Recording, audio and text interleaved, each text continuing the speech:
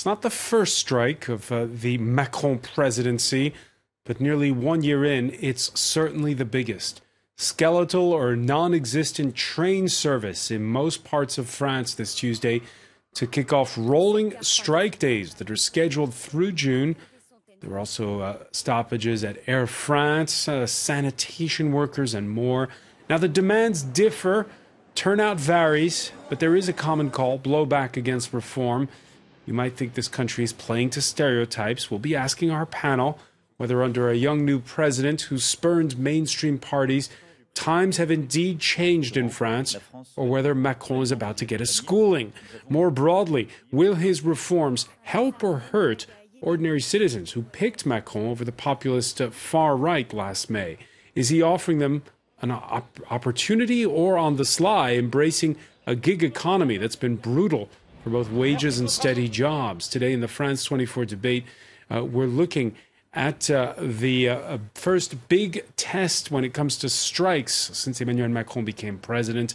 Uh, with us, Olga Givernet, French member of parliament for Emmanuel Macron's La République En Marche party. Thank you for being with us. Thank you. Uh, welcome as well to Rémi Aufrère-Privel, Secretary General of the Rail Workers Branch of the CFDT Trade Union Confederation. Hello. Thanks for joining us. Thank you. You're on strike today. Yeah, of course. and uh, from Brussels, Nicholas Vinocur, who's the editor at uh, politico.eu. Nice to see you, Nicholas. Good to be here. And uh, let's say hello as well to Lex Paulson, who uh, campaigned for Macron and who teaches rhetoric at uh, the French Political Science Institute, Sciences Po. Thanks for being with us. Good to be back. The uh, France 24 debate on Facebook and Twitter, the hashtag F24debate. Now, uh, support, by the way, for this strike has grown over uh, the last uh, few days, up uh, four points to 46%.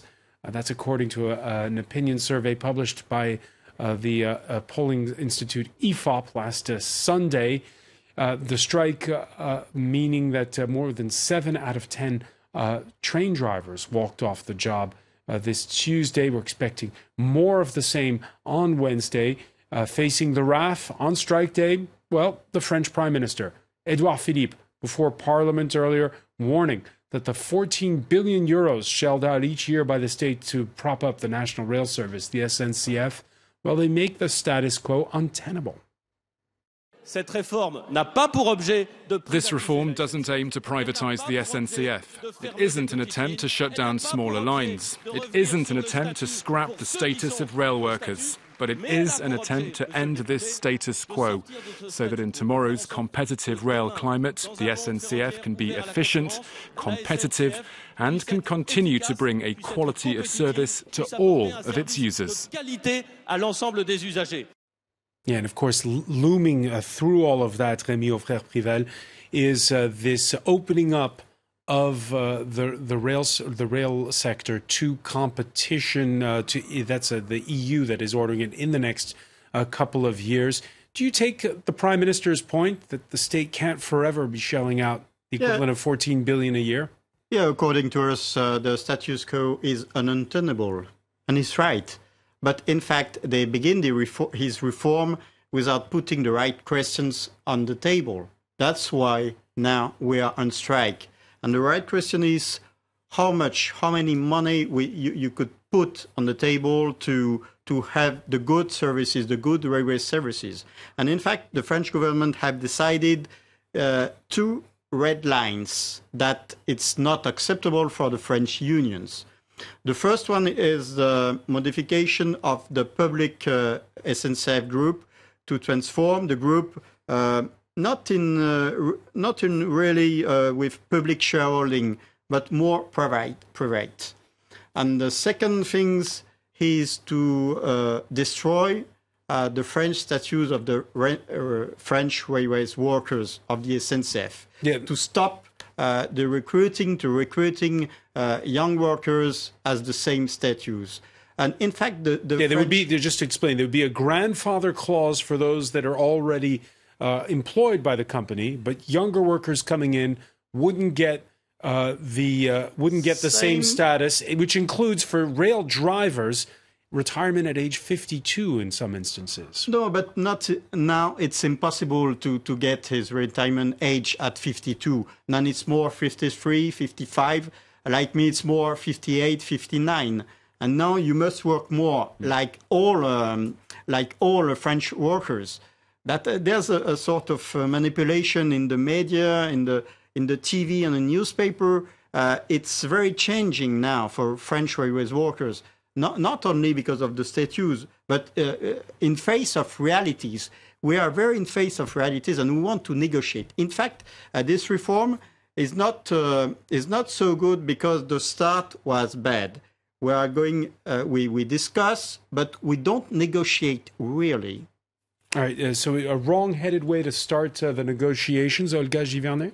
Oh, I, don't think so. I think we have a process. We are today uh, setting up the future of the railway, and um, this is a two months long uh, negotiation process, which means that we start with the ordinance, meaning that we have the frame actually and all the outlines that needs to be discussed and then uh, all the negotiation can carry on uh, to, to uh, end up with a law in, in June. And this is the process we want to offer, and it's really appropriate with what we are facing at this stage because it's it's a huge um, work to, to do. Uh, we have been talking about about the change in uh, the SNCF for ages, for, for years. I'm 36, and I think I, I've always heard about the SNCF.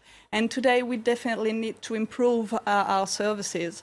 So uh, th this process includes all the partners uh, from uh, from uh, the unions to, to talk to. But you heard you heard Rémi that for his red lines, there's changing the status to this being the same equivalent of a of a private corporation, and also uh, changing the status of workers the, the status of um, we need equity, uh, and it has been part of the program of Emmanuel Macron months, months ago uh, to say that now we, we need equity with every worker to have access to the same rights uh, as um, retirement and things. And we need uh, we think that jobs um, and professional careers are evolving, so we need to fit to the new uh, needs of this uh, new, new way of working.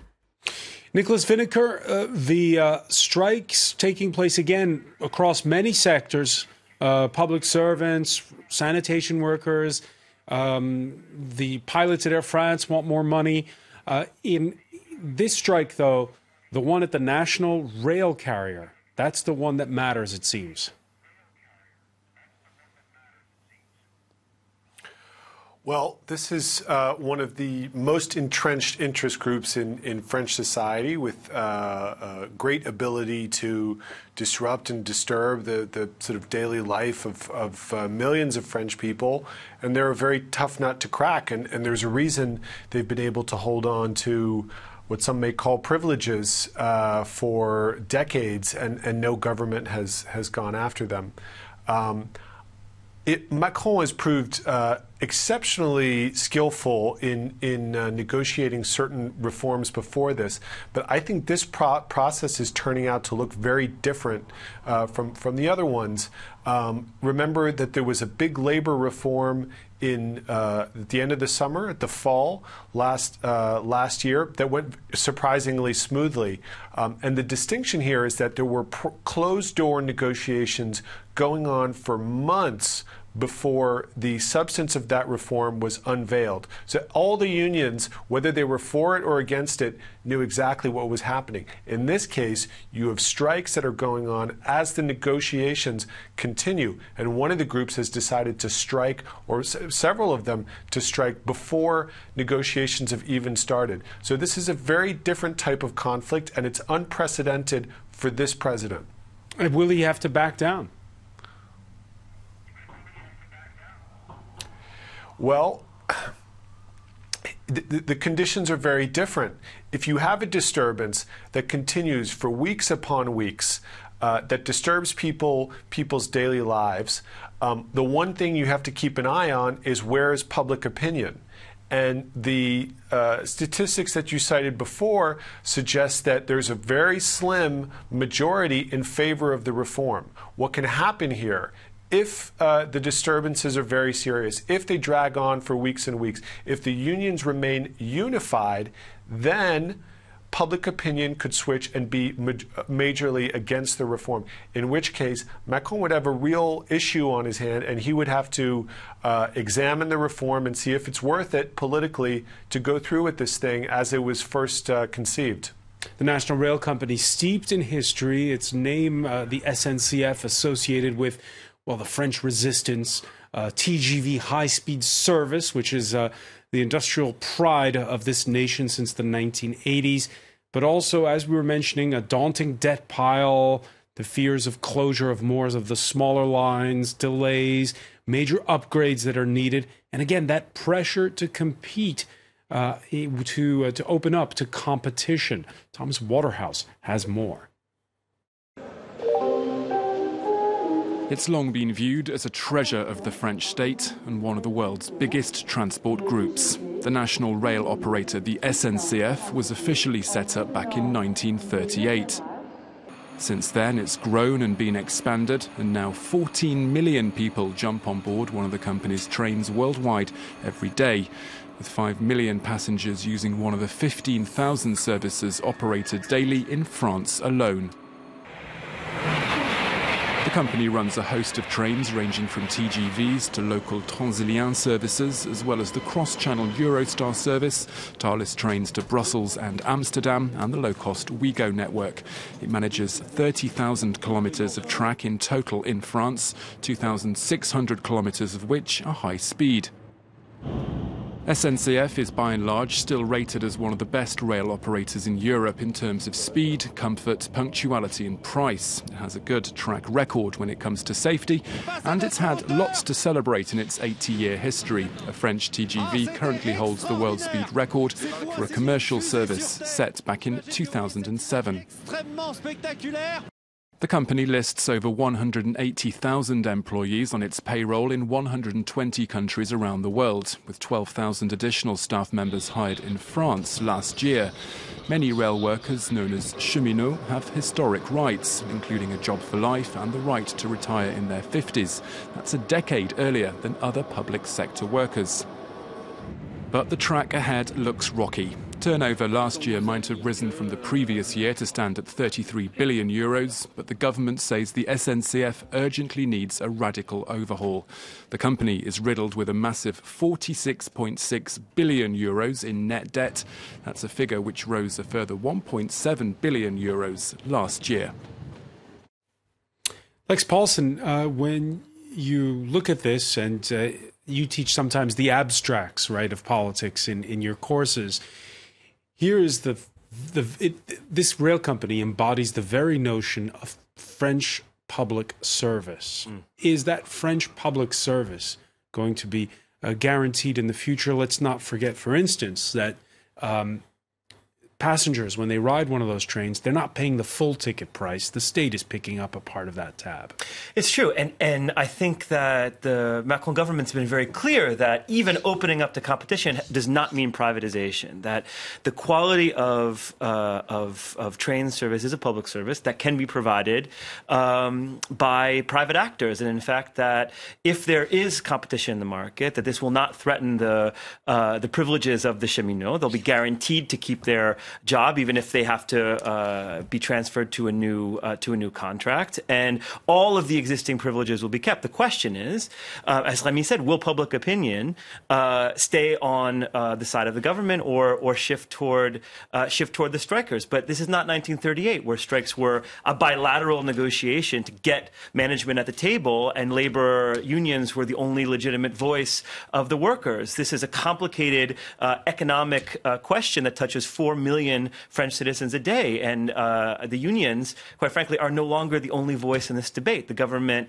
did a two month long consultation last fall where 26,000 people expressed themselves online, 600 atelier uh, consultations. So uh, it's a it's a three dimensional game of chess now, no longer a two dimensional game. And and uh, and frankly, I think uh, public opinion uh, may, in fact, you saw the 53 percent who were in favor of the reform, 72 percent believe that no matter what the strikers did, the government was going to keep the reform. So it shows that the resolve of the government is holding. But you heard Nicholas Vinocur. The longer the strike continues, the more public opinion could turn, and that's been the case in the past against the government. It's absolutely it's absolutely a possibility, and, and no one really knows, uh, based on this, the the scale of this strike, uh, how much frustration will will build and where it's going to be directed. But I will say this, um, in comparison again to past strikes, which were designed to bring management to the table, the government's at the table. You know, the minister says every day we are in, we are open to negotiation. We're open to ideas. Uh, those who are at the table call them discussions instead of negotiations. Fine, but I think the government is showing to the French public its good faith uh, in the fact that it's listening, it's talking, it's it's having this dialogue. Whether they can continue to convince the public uh, so that the public, uh, uh, you know, gives them credit for that stance uh, is another question. Uh, before we go to the break, Rémi Aufrère-Privel, uh, the head of your trade union confederation, says he's open to negotiations with the government. Some of the other trade unions seem more hard line over this one. Why is that? Uh, that's uh, that's the, the the the pluralism. That's the, the the varsity, the varsity of the unionism in France. You have left side, you have you have middle side, you have all the kind of uh, unionism. And uh, some people in European countries, in other France, uh, uh, doesn't really understand this kind of uh, unionism. But in fact, we have the same uh, point of view to keep the French SNCF in the public sector and even to keep in this kind of public uh, status with public shareholding, because we are very afraid uh, to sell in uh, like in apartments some part of the French SNCF. And that's clearly uh, uh, the problem in this case. And the public status of SNCF, it's a balance between rights and constraints. Because if we organize uh, the job, hard job, in 35 hours per week, we can't make any railway services. And then it's not a very treasury. Her statues, it's not a real gift because her, her statues uh, was not only from uh, 20s, but uh, it's uh, always change, always change. The and then we need, we need to build a good compromise. But in fact, it was the very worst beginning for the discussion. For worst beginning. When we come back, we'll ask how uh, it's going to work when it, we look at Europe and how the opening up to competition, how France will fare. Stay with us. You're watching the France 24 debate.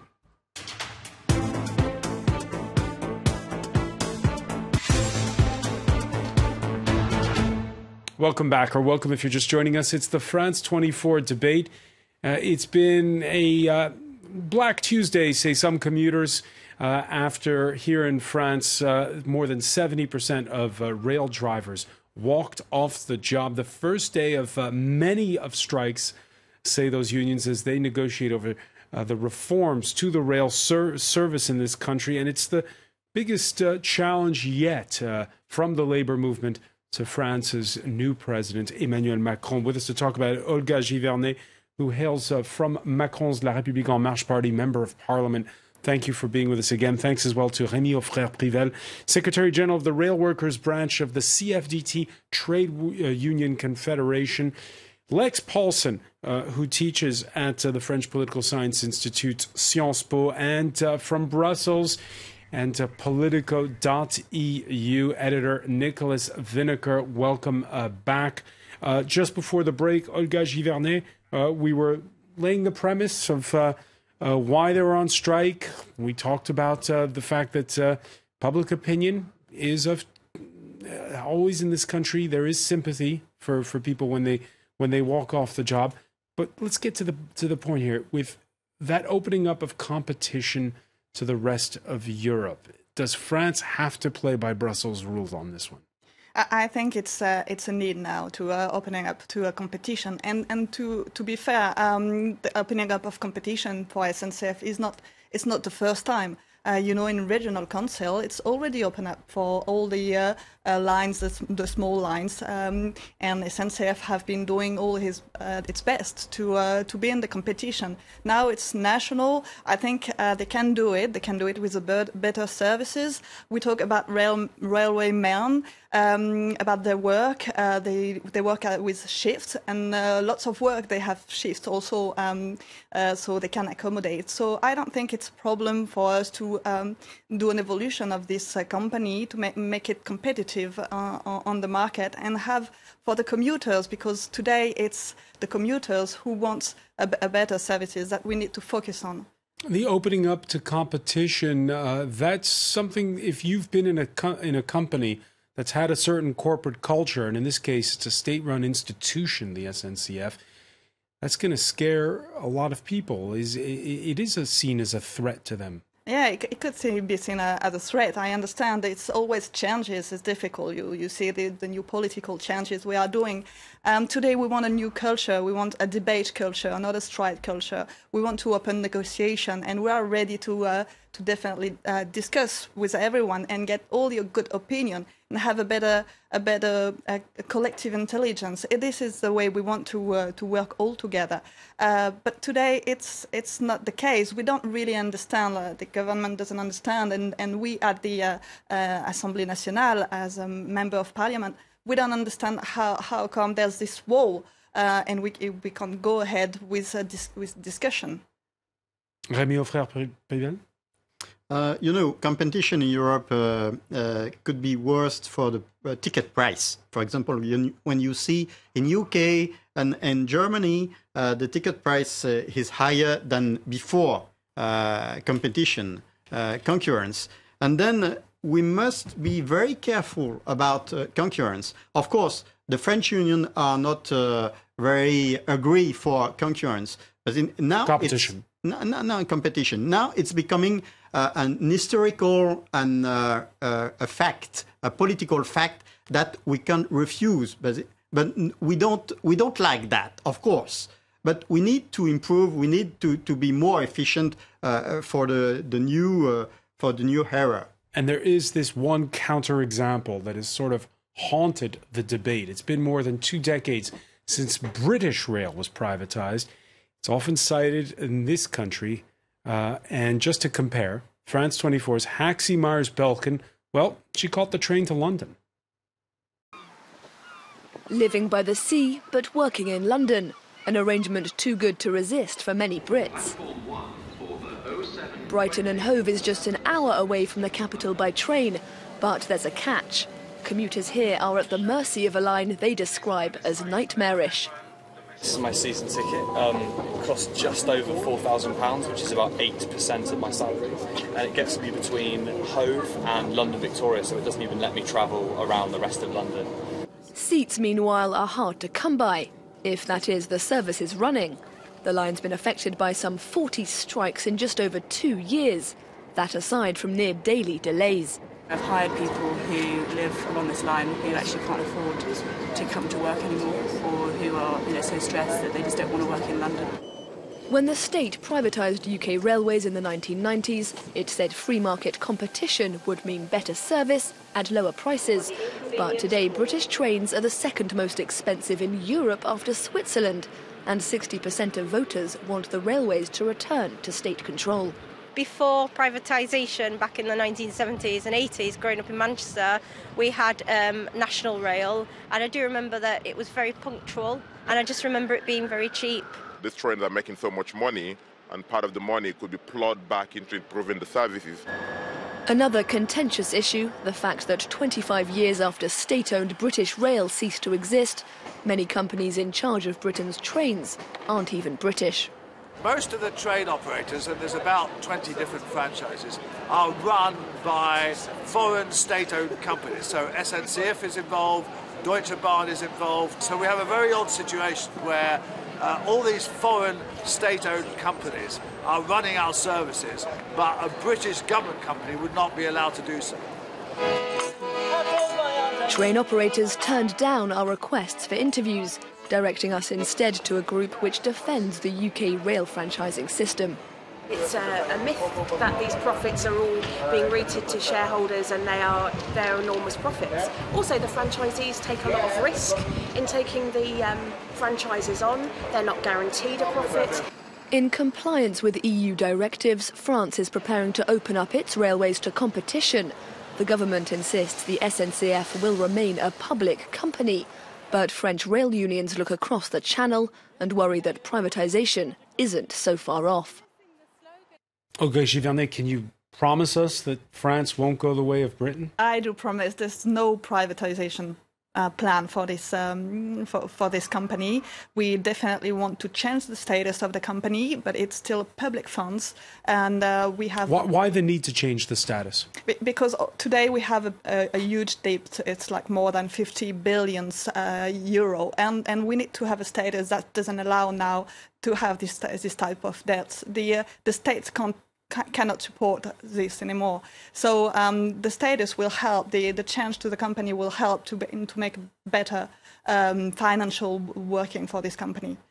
Nicholas Vinocur, uh, seen from Brussels, uh, the uh, argument over the opening up of rail to competition, what has it meant for the, the, the, the street cred, if you will, of the EU?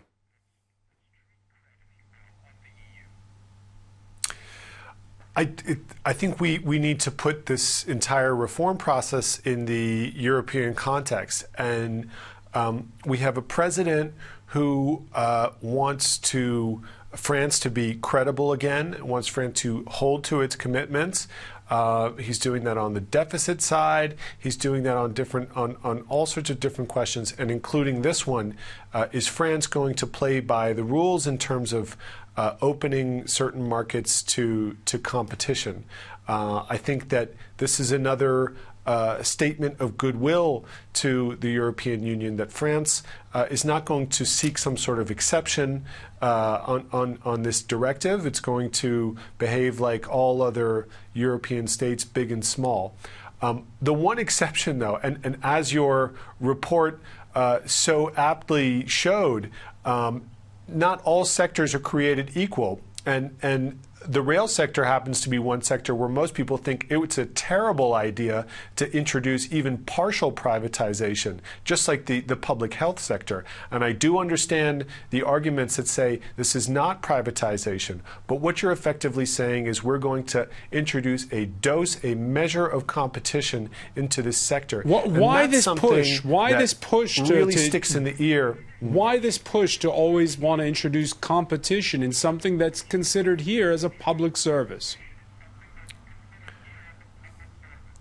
Well, there you're getting into uh, EU EU doctrine and EU antitrust doctrine, um, and and there's certainly an argument to be had about that.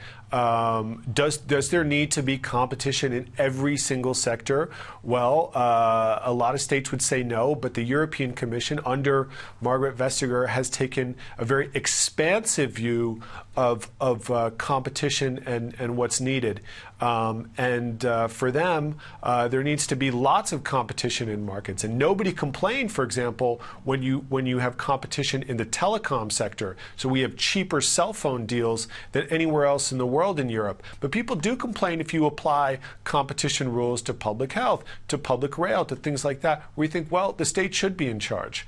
Um, and it's hard to accept that is this just a debt reduction measure? If that were the case, well, maybe people would accept it more. Or is it something else? Or are we letting in uh, uh, uh, private companies and, and uh, a division of, of, of labor into the rail sector?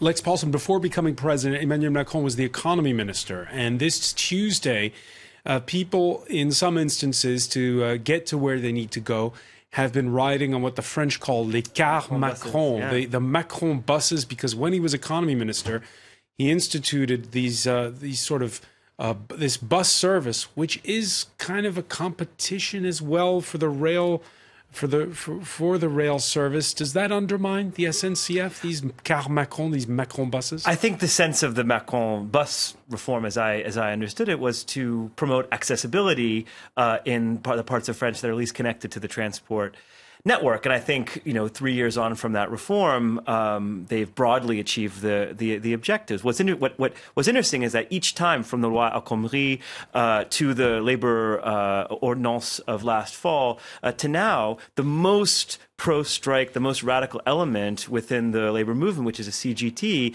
has been on the avant-garde proposing the grève, and then each time has had to acknowledge a defeat. The CGT, which was half of all railway workers uh, at the time of the last major rail strike in 1995, is only now one third. So I think there's there's an argument that this is some union politics as well. The more radical pro-strike elements, the ones least likely to try to negotiate a solution with the government, are trying to prove their relevance to their fellow workers at arguably the expense of the of the French uh, transport using public. Uh, Rémi Aufrère-Privel, does that mean France has gone from a country of class struggle, as it's sometimes portrayed around the world, to one that's more reformist? No, no, no, no. We don't think so. You can open the market. We are against concurrence, but in fact, you can uh, open the market without changing the SNCF public statutes. Uh, in, 2000, uh, in 2014, the European Commission have totally accepted the three public enterprises in the SNCF group. And why you want now change the statutes only four years after the law? That's completely crazy. Because uh, if, of course, union doesn't accept competition, but if you decide to open the market, you don't have any obligation to change the SNCF public statutes. And if you keep these public statutes, you can obtain a better loan interest. That's crazy. Some people face, like you say uh, just some minutes before, that it's better to uh, put private statutes in the French SNCF, even, of course, if you say as, as a guarantee, okay, we don't open the capital of the uh, future of the SNCF. But in fact, that's completely uh, in contradiction of the basic economic law. Olga Givernet, it seems like the what the government is promising when it comes to this change of the status of the company uh, is different from what Brussels intends. I think uh, what the government thinks is try to make a, a, a, good deal with what we think inside and what we have as a culture, um, and, and make sense also for, for Brussels. We talk about competition, we talk about car Macron, uh, there's also carpooling. Yesterday I came uh, from home to Paris, uh, carpooling. So there's already a competition uh, for the uh, railway.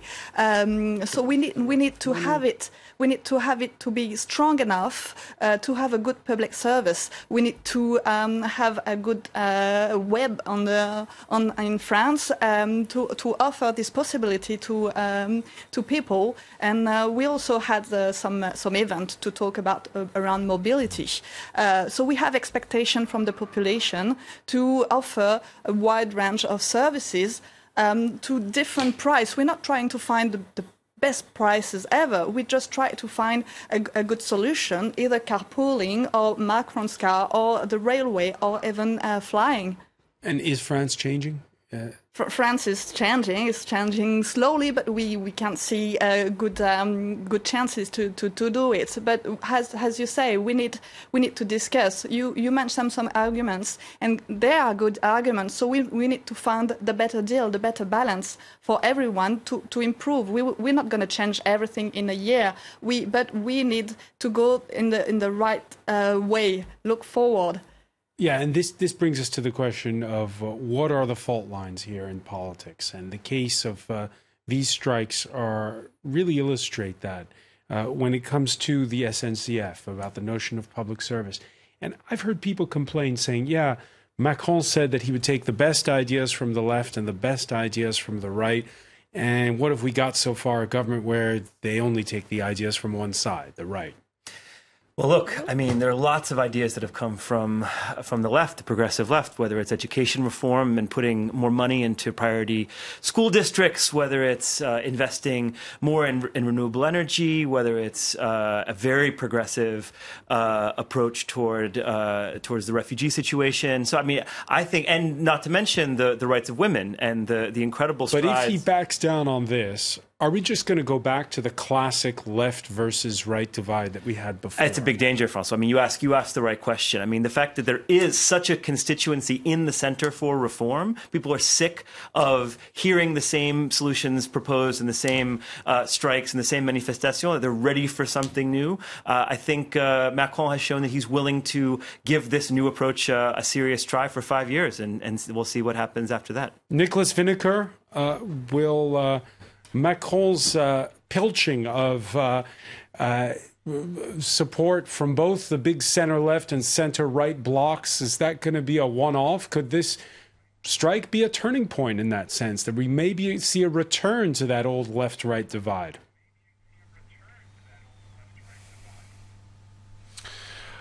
I think that the position in the center is, by definition, an unstable one. You're uh, constantly pulling either to the right or either to the left. Uh, as as the issues dictates. Uh, on this one, uh, as you said, it's it's an uncomfortable exposure for uh, Macron. It's one where he can uh, easily be caught in a minority um, with a big kind of center left group, uh, and even some people on the right advocating for for the status quo. Um, I don't think that he is um, going to alienate the, the right, though, on this particular issue. If you look at what the, the conservative mainstream is, is saying in France right now, uh, it's, a, it's a very l- economically liberal message that they're, uh, that they're promoting with, with Laurent Wauquiez, who uh, calls for much, much tougher uh, policies. There's one thing that should be uh, recalled is that Macron is not taking an axe to uh, the, the public sector as a whole. Uh, France has one of, you know, uh, 56 or 57 percent of its GDP is devoted to, to pu- is, is public spending. And he's doing very incremental changes on that front. So I wouldn't like to present this president as some kind of uh, Thatcher like figure. That's not the case. He's uh, conducting targeted, specific reforms in some areas, and, and it's very hard, tough going. Very tough going. I want to thank you, Nicholas Vinocur, for joining us uh, from Brussels. I want to thank Olga Givernet. We'll see how how these uh, strikes unfold as well. Rémi Aufrère Privel, Lex Paulson. Stay with us, please. Media Watch is next.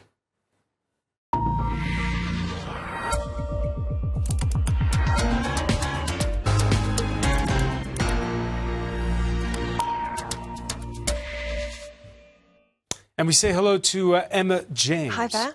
Yes, been taking a look at how this one's playing out online. Uh, lots and lots of reactions, as you might expect. A lot of international reactions too. But starting off here in France, uh, the cartoonist Plantu has uh, come up with his interpretation of today's events. La galère can mean the galley of a ship, but it also means uh, big trouble, big pain, basically. Um, and it says no trains, but uh, there are possibilities, i.e., cramming yourself onto uh, uh, some sort of boat on the uh, River Seine there to get around Paris. Um, this is another cartoonist offering, Na, who's likened this to Wild, you know, the movie where she does the epic trek. Right. Uh, and calls it a survival course. And it says, uh, I must travel 14 kilometres in a hostile environment. And you can see all of the uh, cancelled trains there up on the board. Um, there are, of course, many more strikes to come. Lots of people uh, publishing images like this showing the number of days in the next three months where we are going to be affected by strikes. Some of it SNCF, some of it Air France, uh, and obviously other organisations getting involved in it too, uh, which is why it poses such a big problem for Emmanuel Macron.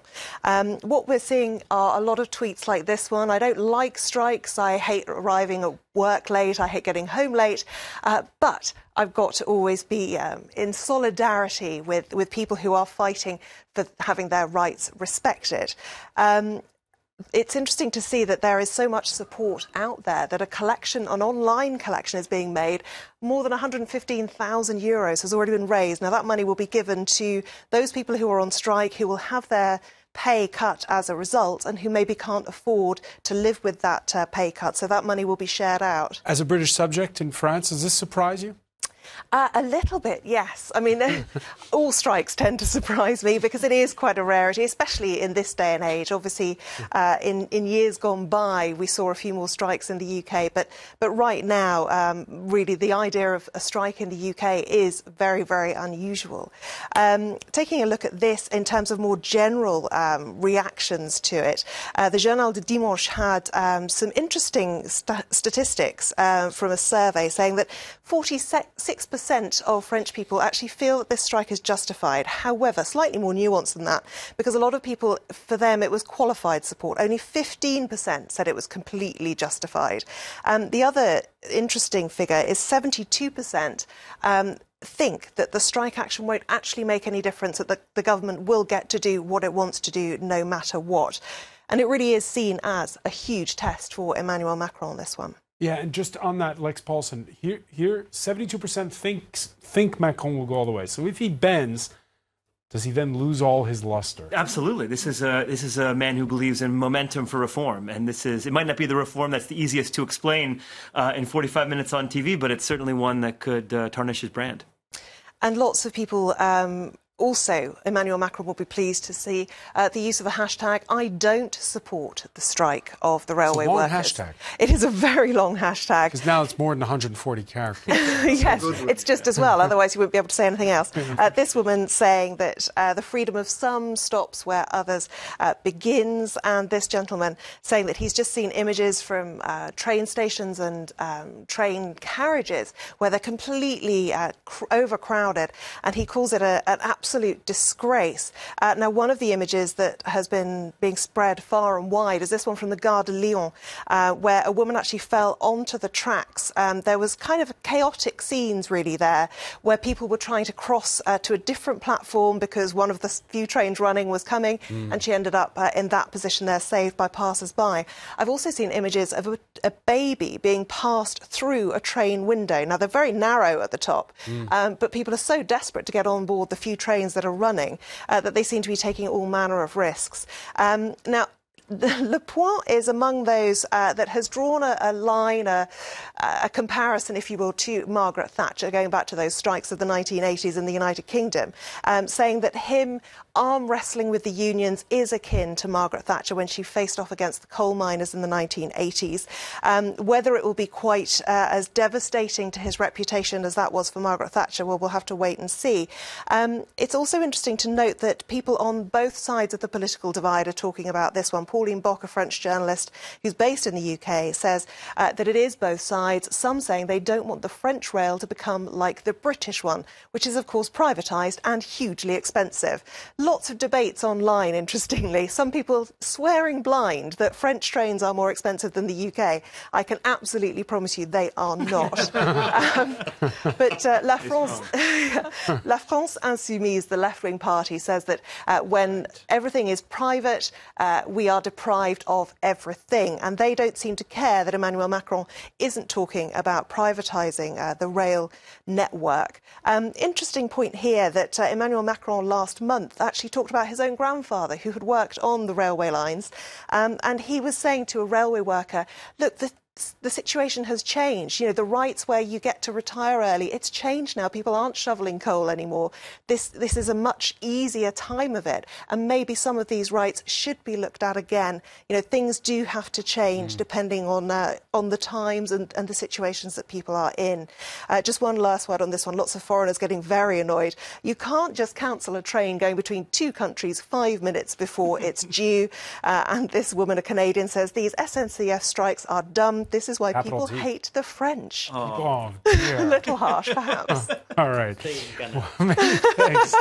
No, she's welcome. She's welcome. Many thanks for that. Emma James, many thanks. Well, I I want still to. want to be private. I want to thank our panel once again. Thank you for joining us here in the France 24 debate. It's true.